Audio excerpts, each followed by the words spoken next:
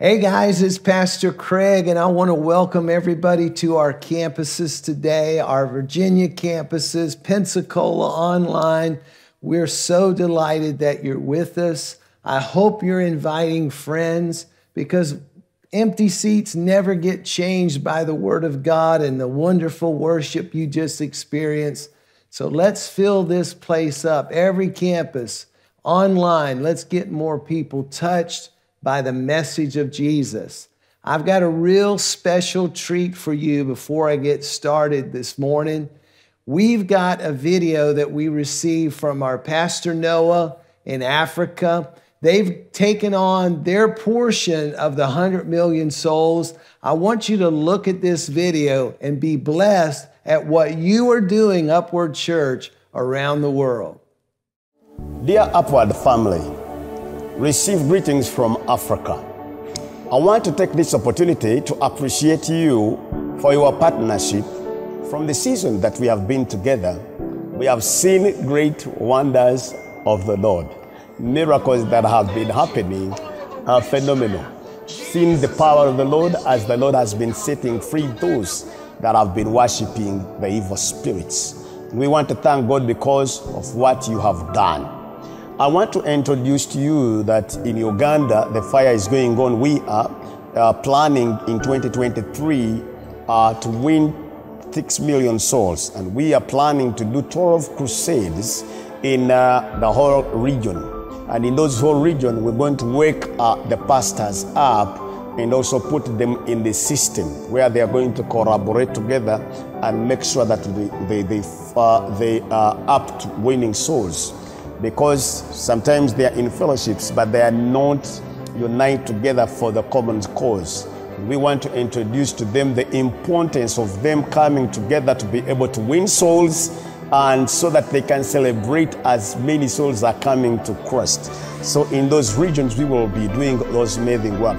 Because, for example, from the time we have been working, and we have introduced this system to them, like in, a, for example, in the country of Congo, the people are coming to Jesus Christ in simplicity.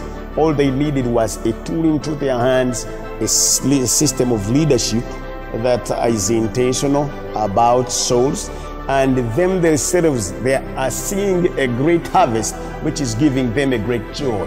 And we are seeing the same happening in Zambia. Now we have gone as far as Malawi. We are in Tanzania. We are in Kenya. We are in, uh, in, uh, in, uh, in South Sudan. We are in Bujumbura. we are in Rwanda. We are in, uh, in places in Kenya. We are so grateful that the Lord is doing an amazing work now. And those that we have touched are doing, uh, uh, testifying of what the Lord is bringing. Isn't that fantastic? Can we just give the Lord a praise right now, a hand clap right now for all that He is doing through Upward Church? And we're so grateful for Pastor Noah. Did you see all those nations that we're in now? I think we're at a total of about 12 to 13 nations just in Africa alone. And God is moving. Just this Friday, I spoke to 500 university evangelists and missionaries that we've identified from our 47 university fellowships as missionaries, people called that are going to go into other universities. We are determined to make Uganda a Christian nation. Hallelujah. And you are making that possible. So thank you guys so very much. We've been in this series called Abraham, A Journey of Faith. And if you're here for the first time, it's not too late. You can go back and listen to the first three messages.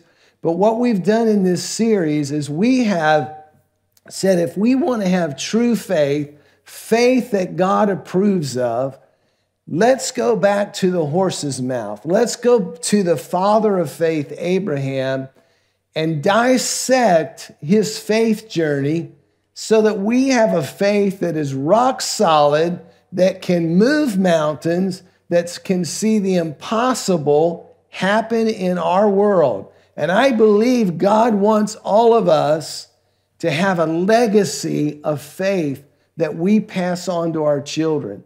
That our children would one day say, My father, my mother, They were men and women of faith. If God told them to do it, they would do it. And they'll have stories of how you, as a parent, stepped out and God came through for you. I want everybody to have that legacy because that's my own legacy. My, my forefathers, the two that I know, there are nine of them, but my grandfather and my father, above everything else I would say to describe them, is they were men of faith. They would do and act on whatever God told them to do.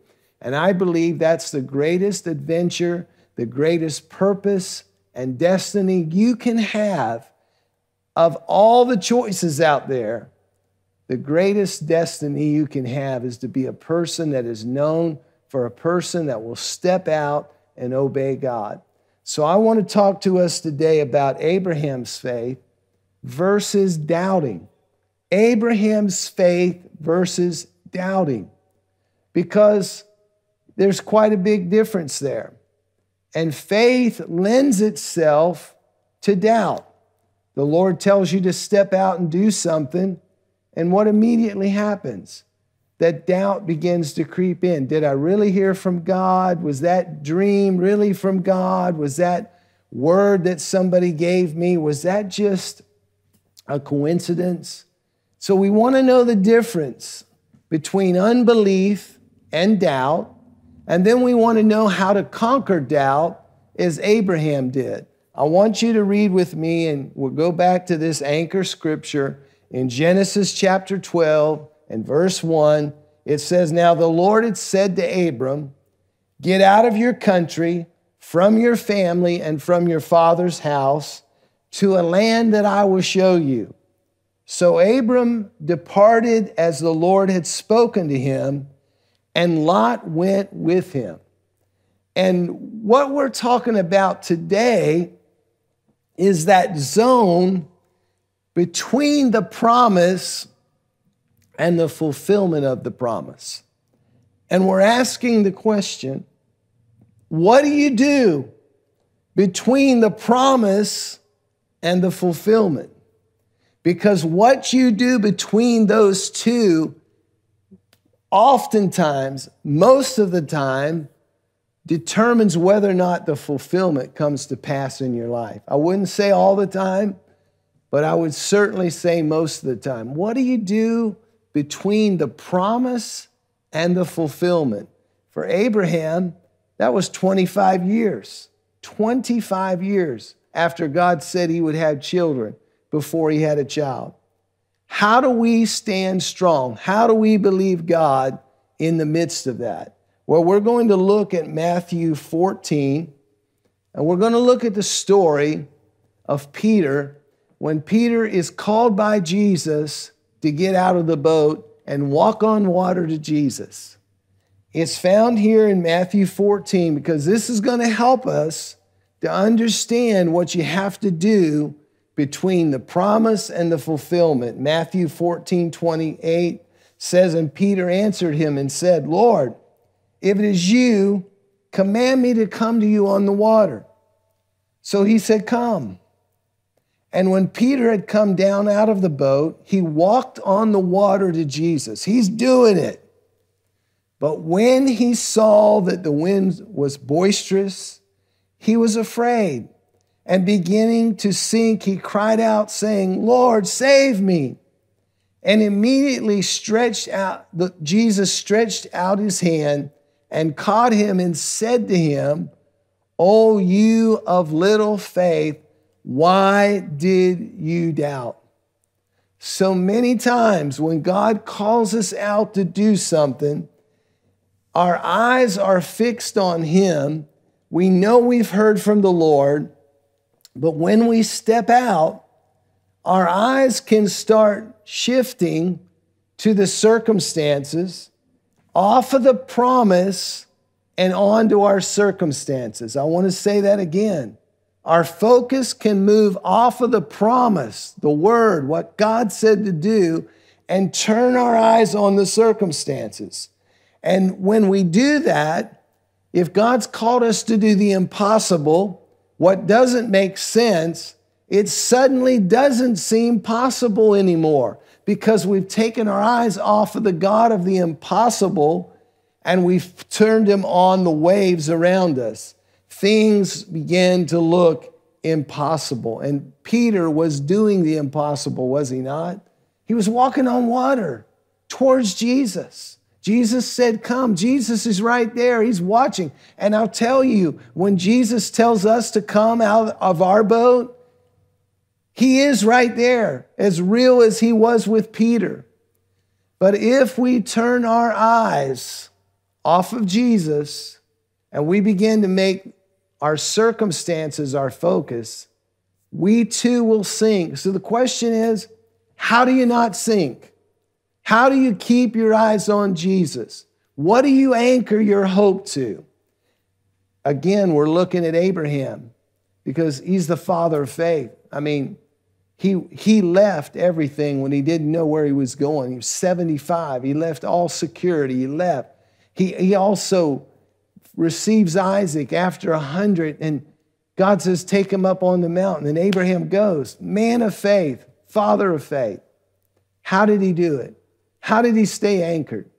In Romans chapter 4, it tells us how this happened. Let's, let's look at it together. Romans 4:18 says, Even when there was no reason for hope, Abraham kept hoping, believing that he would become the father of many nations. For God had said to him, That's how many descendants you will have. And Abraham's faith did not weaken, even though at about a hundred years of age, he figured his body as good as dead and so was Sarah's womb. Abraham never, turn your neighbor and say, never. This is amazing. 25 years. Abraham never wavered in unbelieving God's promise. In faith, his faith grew stronger, and in this, he brought glory to God. He was fully convinced that God is able to do whatever he has promised. Abraham anchored his hope to the promise of God. And if we're not going to sink and give in to doubt and unbelief, we've got to anchor our hope to the promise of God. What Peter needed to do when he stepped out of that boat was when he began to notice the waves, not deny them, not go, well, I'm not really walking on the water, I'm not really sick. No, you don't deny that there are reasons why you can't do what God's asked you to do. It, it, it, he's asking you to do something impossible in your own strength. But he had he needed to anchor his hope on the promise, what Jesus said to him. And Jesus said simply, Come. You want to walk on the water? Come. Come to me. The water's no problem with me. Come. And that's the only way you and I are going to be able to walk on that water. Now, Simon Peter had moments where he flashed this kind of ability to obey God, even though it didn't make sense. I'm talking about the time Simon Peter was a fisherman. And on one instance, he'd been out all night with no catch. And this is not just, you know, throw your fishing pole over and, and wind it in. This is throwing nets and dragging them in. If you've ever fished with nets, you know this is a lot of work. And so all night long, he throws the net and he drags it in and they say, We got to have something. We need, this is their livelihood. I don't want to go home and tell the missus that we don't have any food for the kids. Throw the net. All night long, they're working, and they caught nothing. And then Jesus comes by. And he says to him, Have you caught anything? No, sir, we haven't caught anything. Fished all night. He's a fisherman. He knows when to fish. They're fishing at night because the fish can't see the net at night. Now it's daytime. There's no fish to be found. And Jesus says to him, Throw the net out one more time. One more time. And Peter answered in Luke chapter 5 and verse 5, and it says, But Simon answered and said to him, Master, we have toiled all night and caught nothing. I want you to notice something. He can acknowledge the problem, and you can acknowledge a problem, and it doesn't weaken your faith. Abraham considered his body now dead. It's all right to admit there's a problem. It's all right to say, This is impossible but God. Abraham's faith worked because he believed God in spite of the problem. And we're going to see Peter with the same pattern. He's like, Lord, we got a problem here. We fished all night, we toiled all night, we caught nothing. But then he says something that I want us to highlight today, and I pray this will burn in your spirit. For 2023, you will remember this message. You will remember this phrase. He said, Nevertheless, at your word. Turn your neighbor and say those words with me. Nevertheless, at your word, I will let down the net. And when they had done this, they caught a great number of fish, and their net was breaking. So they signaled to their partners in the other boats to come and help them. And they came and filled both the boats so that they began to sink. We're talking about a haul of fish. How many fish does it take to make a boat start to sink? So many fish that they called their, their friends, their partners, who probably toiled all night too. So I want you to see that Peter's obedience was a blessing to him, but our obedience is going to be a blessing to other people. And other people are blessed when you obey God. And the key was this phrase. And the key to you living this overcoming, faith rewarding journey, the great adventure, is you've got to make this your mantra. Lord, I don't see how this is going to work, what you're asking me to do. But nevertheless, at your word. Hey, I want you to move here. That's what he said to Abraham. Where am I going, Lord? I'll show you when you get there.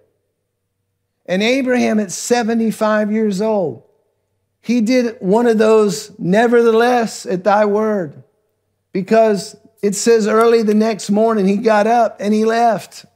There were no whys, there were no buts, there were no ifs. It's okay, you said it, I'm going to do it. And this simple act of faith brings miraculous results into Peter's life and all his friends that fished with him, and it brought miraculous results into Abraham's life.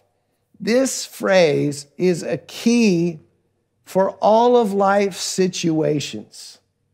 I hope, let's say it again to our neighbor. Say it with me.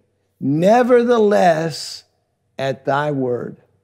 Nevertheless, at thy, thy word. What would happen if we as parents constantly exemplified this to our children? Whatever God says to do, that's enough. When we know we've heard from God, we say, Nevertheless, at thy word. Abraham received the word from the Lord get up and go, and he did it. All those who have understood this principle, hear me, have become richly blessed. They have lived a supernatural life. God never intended the believer, the born again, blood bought believer, to live as more, mere mortals live, to function as mere mortals do, out of our reasoning, out of our logic, out of our own ability and our own strength. It's not enough. But God is intended for us to hear the voice of God, the Holy Spirit that now resides in us, to do what others cannot do, to advance His kingdom, to cause his purposes, to take gospel domination, to fulfill the dominion mandate first given to, God, to Adam and Eve.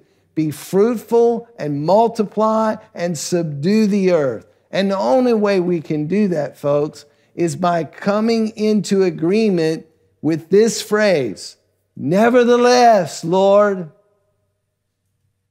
you say to give this amount, Lord, you know that's stretching our finances, but nevertheless, at thy word, I'm going to give to your kingdom.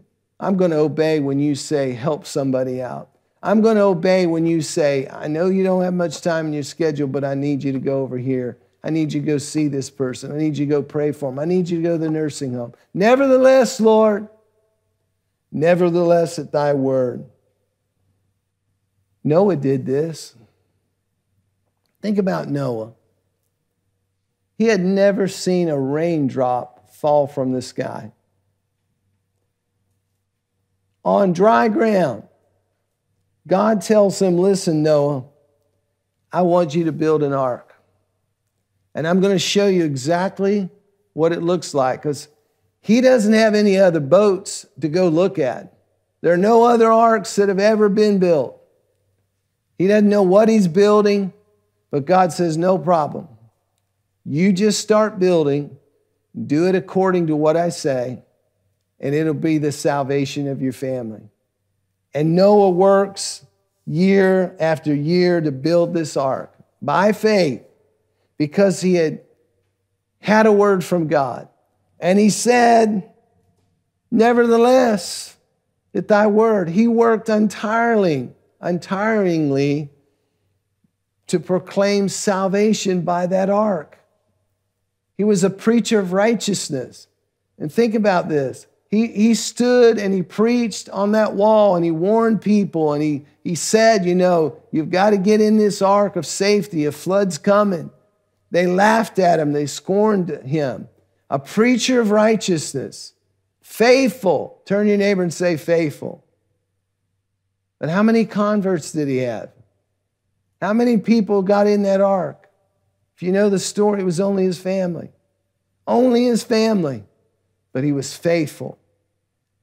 And why were they spared? Because of his attitude. Nevertheless, at thy word. Blessed, listen to me, blessed are all those who will obey God, no matter how hard, no matter how difficult. And I tell you, a dangerous prayer, very dangerous, is when we sincerely pray this prayer and say this Lord, here am I, send me. Or, Lord, I just want to be used by you. The Lord sometimes will take us into the most trying circumstances of life and train us and galvanize our faith so that we will stand in faith no matter what. Turn to your neighbor one more time and say, no matter what. Even in the face of persecution, we will stand in faith. And many of you watching around the world in these nations that are strongly persecuting Christians, I want to say to you, you've got to get this in your spirit.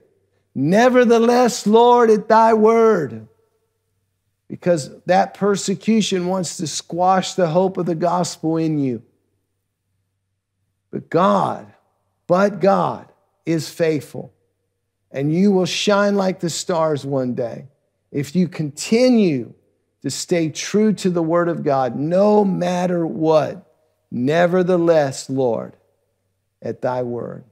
Father, if you're willing, Jesus prayed, remove this cup from me. Nevertheless, your will be done, Lord, not my will. What was he saying? Nevertheless, at your word, tomorrow morning, I'm going to make to my way to Jerusalem. I'm going to be arrested tonight and I'm going to go give my life for mankind. 1 Kings 17 tells us Then the word of the Lord came to him, saying, This is Elijah. Arise, go to Zarephath, which belongs to Sidon, and dwell there. See, I have commanded a widow there to provide for you. Now, just hold up a minute. A widow in Israel in that time, time frame means there was no family to take care of her. And let me tell you, that's not a banker that God told her, told Ezekiel, Elijah rather, to go to. In his mind, he's probably thinking, a widow? A widow's gonna provide for me? Lord, send me to a, a banker. Send me to a real estate guru. Send me to somebody with means. But God said, Go to Zarephath and find this widow, because I've commanded her to provide for you. So he arose and went to Zarephath. When he came to the gate of the city, indeed, like God does when you obey him, a widow was there gathering sticks. There she is. I'm telling you, it's so rewarding when you obey God and you watch what He said for you to do to start playing out in front of you. I remember I was taking a team to Tanzania to do a crusade, a missions team, and I was leading them. And I had just met them in the airport in New York. We all gathered there, and I was responsible for them all. So I felt very responsible, right? I'm dragging strangers to Tanzania. And while we're on the airplane, I have a vision of me and the other co leader that I took with me. And we're leaving the city, and we came out into an uh, alleyway, and there was a water bar- barrel over here, and I, all the details of that alley.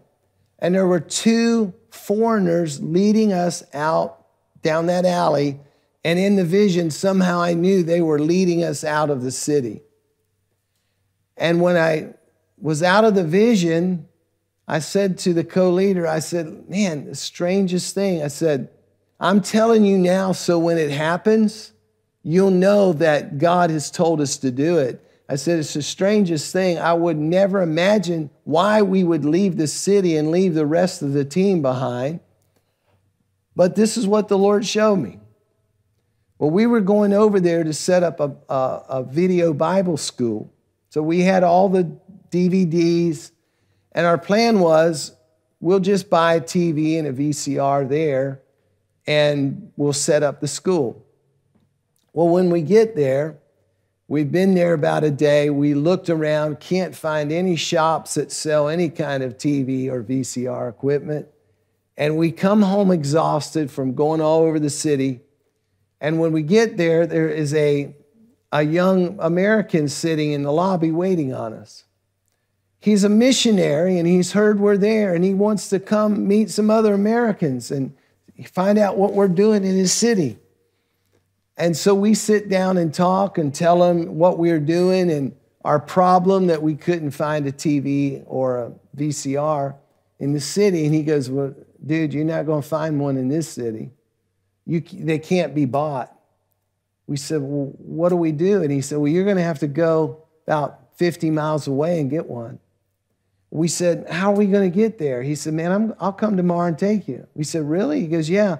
I was praying for a four wheel vehicle, and I just received one last week. God answered the prayer.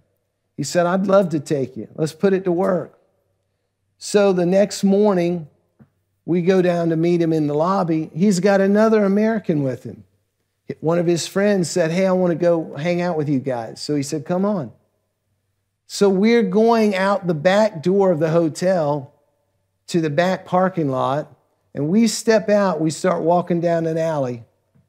Two Americans leading us through the alley, water barrel catching the water, all the details that I described to the co leader. And I stopped him and said, look, look what we're looking at. And those guys were still walking. I said, This is exactly what God showed me on the airplane. See, when those moments come, when those precious moments come,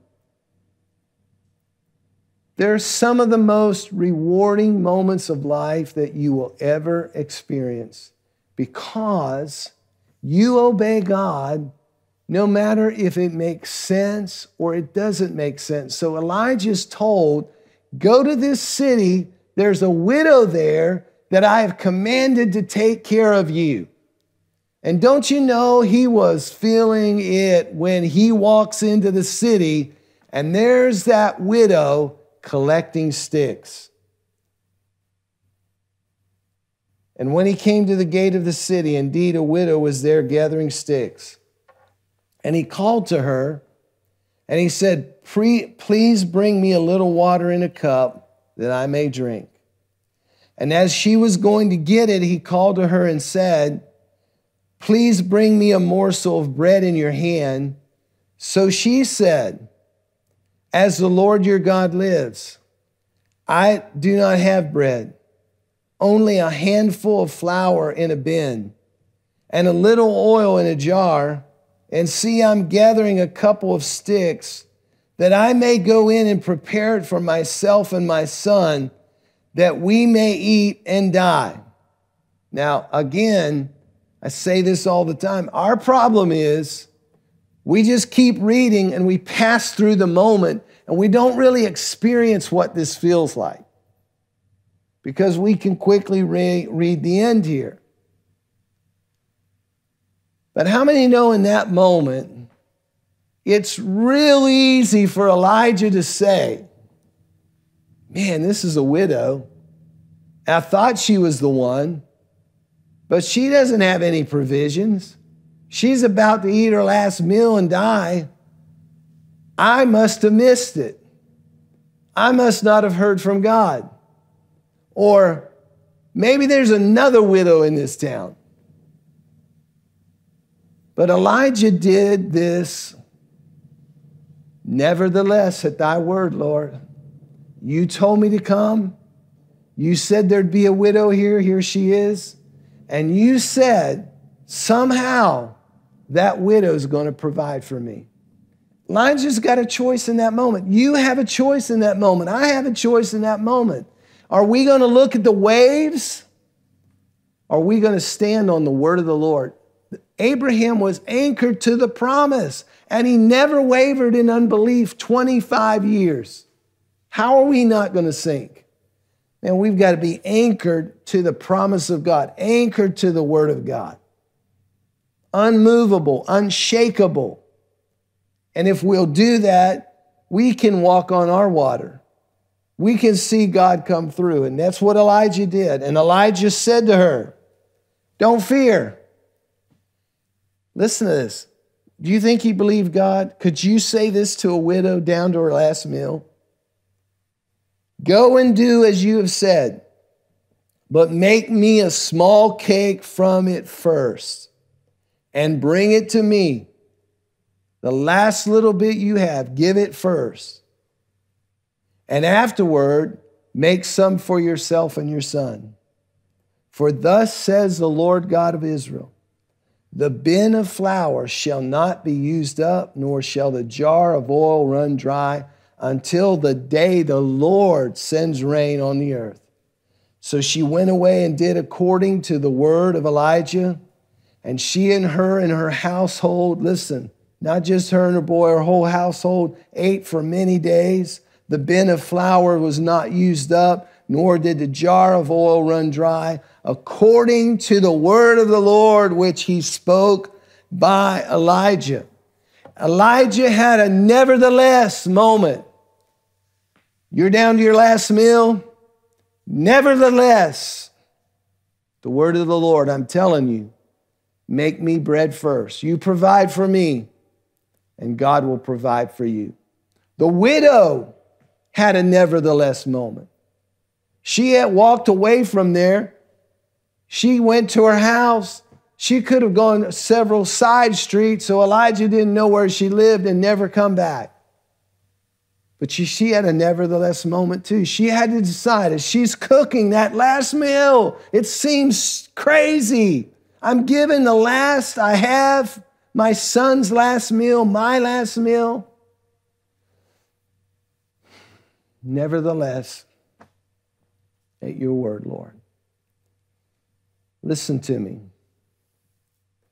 Nevertheless, at thy word is like a trigger on a gun. You know, they teach you in safety, gun safety, never put your finger on the trigger until you're ready to shoot. Never do it. Because if you pull that trigger, you're going to get a shot. A bullet's going to fly. Trigger is very important, right? A trigger in God's kingdom that unlooses heaven, unleashes heaven, and will fill your boat full of fish. Hear me. Your life will be glorious. You will have stories to tell your children and your grandchildren how God told you to do something. You did it by faith. People were telling you were crazy, and you did it. I'm feeling this today. You'll be able to tell your grandchildren. Let, let Pappy tell you about this story. Let the chief tell you, little Nina Noel. Chief wants to tell you how your, mo- your grandmother and I left our jobs and went to China while they were under martial law. Let me tell you what God did. You'll have stories to tell. That's I'm convinced that's the greatest legacy you can leave your children, more than wealth, more than houses and lands. Because I would rather be dependent on God's storehouse because his never runs out. His, his riches never run out. His treasures never run out. He, in fact, he said, if you leave houses and lands for my sake, you'll re- receive a hundredfold in this life and the life to come. Listen, you plug into that, you get plugged into that, you get that stream open. And again, the currency of heaven, the exchange of heaven is faith. And the trigger for opening up that floodgate of blessing in your life, living the impossible. Nevertheless, at your word. So many crusades, I've done that. They come up in a wheelchair, they come up with crutches. They're blind, they can't see. It looks impossible, but God said, if you'll pray for the sick, I'll heal them. I've sent you out. Lay, pray for the sick, anoint them with oil, lay your hands on them. Through technology, we can't do that. So we just say, believe God. We're going to pray a prayer of faith. Nevertheless, at thy word. And then we watch the miracles begin to happen. I want the miracles happening in your life, church. I want to challenge you today. This is a challenging message because it's, it's safe on the shore. It's safe to go through 2023 and have everything, all your boxes checked and you know all your emergency funds in place and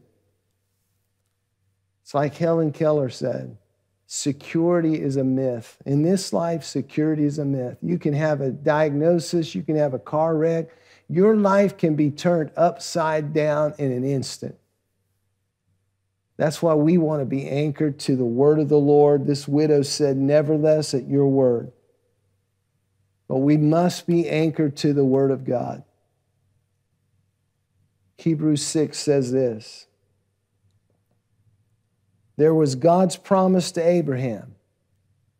Since there was no one greater to swear by, God took an oath in his own name, saying, I will certainly bless you and I will multiply your descendants beyond number. Then Abraham, then Abraham, listen, God said it, he did it with an oath by his own name. He said, I'm going to do this. What do you do next? I know what the Lord said do. I'm, I'm stepping out. What do I do next? Then Abraham waited patiently and he received what God had promised. Do the last thing God told you to do and wait for the next orders. And if you'll do that and anchor yourself to the Word of God, see, there's a difference between doubt and unbelief. Unbelief just says, I don't believe God can do it. Doubt says, I don't know if He will. Doubt is not sin. We struggle with doubt. We need to extinguish it, we need to know how to fight against it. How do you do that? You got to speak to yourself sometimes, like David did in Ziklag. You got to say, Why so downcast, O my soul? Put your hope in God. City's burnt down. His wife's captured. His kids are gone. His own guys want to stone him, and down in the ashes, he's crying and weeping. How's he going to keep going in faith? He had to speak to his soul. He had to say, Soul, don't look at the circumstances. Remember who your God is. Why so downcast, oh my soul? Put your hope in God. You got to speak to yourself. You need to be around other believers to encourage you. The Bible says to speak to one another in psalms and spiritual songs, singing and making melody in your heart. You do that together. That helps remove the doubt. I have brothers shore me up. Hey, brother, you stepped out believe God. Keep trusting, keep waiting. Like Abraham, you keep waiting. We're standing with you in prayer. You go out that door, you suddenly feel it all burdened on you again. That's part of this journey. It's great to hear him say it, but you're the one walking it's what you're thinking. But they say, I've been there. I know how it feels. Come on, I'm standing with you. And, get, and eventually, you know what happens? Like a play, the curtains close on that scene and open again. New people, new places, and God's delivered you. Somebody shout, Amen. So, what do you do? You speak to yourself. You remind yourself of the promises of God. God, you said. You get it with other believers. You don't do life alone, and you encourage one another in the Lord. And then you end with this Nevertheless, at thy word, you remind, you, you, remind, you, you remind yourself of who you are in Christ. The devil loves to label us and keep us in our past. Doubting Thomas, right? That's how we, we, we've got a label on Thomas, doubting Thomas. But God didn't rebuke Thomas for his doubt. He said, Here's my hands and my feet. If that's what it's going to take, I'll fill in the blanks for you. But he's still known as Doubting Thomas, even though he became a great apostle of the faith, a martyr for Jesus. Many people know him as Doubting Thomas. What about the leper that was healed? The leper, the leper, the leper. Guess what? The leper was healed. He wasn't a leper anymore. Blind Bartimaeus, Blind Bartimaeus. He wasn't blind after Jesus got a hold of him. And the, the devil will try to label you and keep you bound to your past. But you remind yourself who you are in Jesus. You remind yourself how God sees you today. God sees you as an overcomer, a redeemed overcomer, that the bowels of hell and hell itself cannot stop you because your faith is in Christ and you are anchored to a hope that Bible says that is both steadfast and sure that enters in the veil behind the curtain where Jesus is gone and sprinkled his blood on the mercy seat. That's the anchor of Craig Walker's life. It's not just a life insurance policy. It's not something with prudential. It's not in an IRA. The anchor of my life and as for me and my house, we will serve the Lord. And our anchor is not tied to this world, it's tied to the promises of God. It goes beyond the veil. You put your family in that position, dad, mom, grandparent. You put your, your family on that rock, it is a bedrock. It will not be shaken. All the wind will blow. But your house is built on the rock and it's not built on the sand. I want to leave you with this today. How are you going to live your life? Like a scared cat in a room full of rockers? Oh God, what are we going to do now? Oh God, what are we going to do now? Don't know how I'm going oh God. Are you going to rise up Anchor yourself to the promises of God. They're in that book. You got to read it, but you read it, you'll see those promises. They're to you. You're the heir of Abraham, the father of faith. They're all yours now. You're written in the will. But you're going to have to rise up and say these words Nevertheless, at thy word. Nevertheless, at thy word. God, you haven't failed us yet. You're not going to start failing me now. I'm trusting in you. Let's stand to our feet. I want to ask you, if you would, as you're standing, I want to pray for those that say, Pastor Craig, would you pray for me? I'm in a season of my life right now that I'm in the waiting. How many know God is in the waiting? And I'm in the waiting, and I don't want to waver. I, want to, I, I do not want to waver. I don't want to give in this time to doubt and questioning God.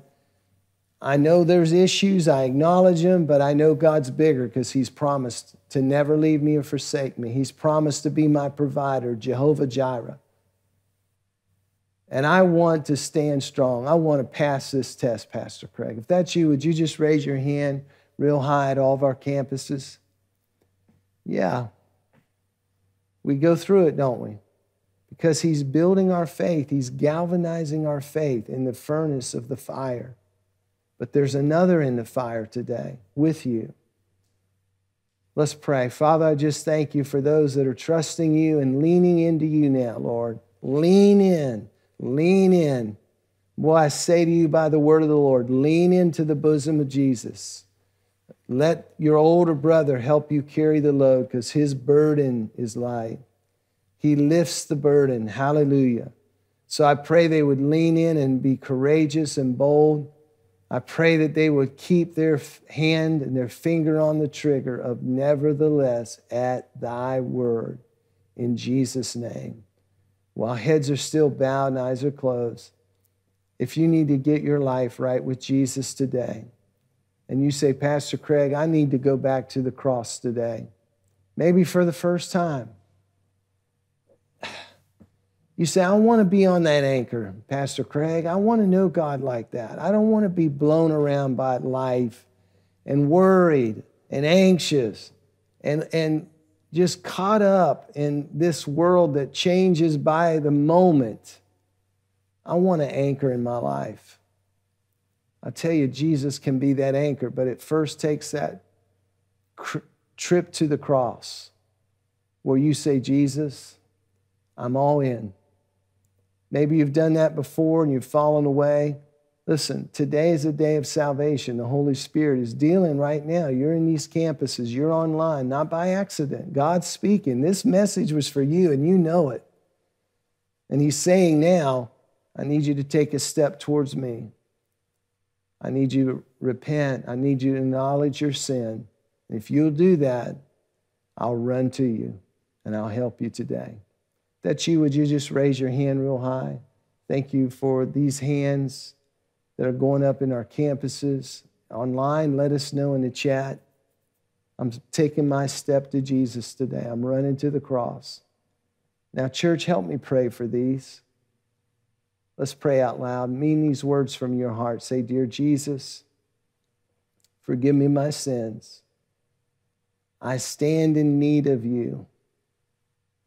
I'm a sinner and I need your forgiveness. And I'm sorry. From this day on, Lord, I receive your grace right now. Thank you for paying my penalty. And Lord, fill me with the Holy Spirit. Teach me how to live every day, and I will obey. In Jesus' name. Amen and amen. Let's give the Lord a great big hand. Will you do that? Praise God. Praise God for the best decision you'll ever make. I thank God for you that are going through it or will be going through it. I believe this message is going to bolster your faith, and you will be known as a person who says, Nevertheless, at thy word. Let's give it up to the Lord as our campus pastors are coming to tell you about some next steps and some announcements that we have for you today.